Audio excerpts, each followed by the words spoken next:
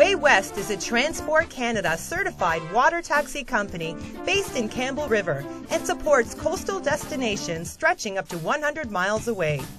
We are dynamically involved with tourism, the forest industry, fish farming, kayaking, renewable power projects, and much more.